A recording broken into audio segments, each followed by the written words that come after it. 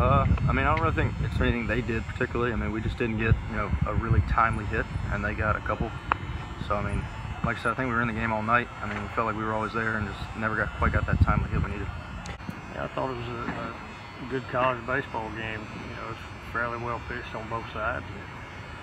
You know, both teams had us had opportunities, and they were able to cash in one more than we were. But uh, you know, we still told the guys afterwards we we've got to continue to work, try to continue to to clean some things up, and then offensively, you know, take advantage of opportunity when we get it, and, and stay aggressive once we get some guys in scoring position.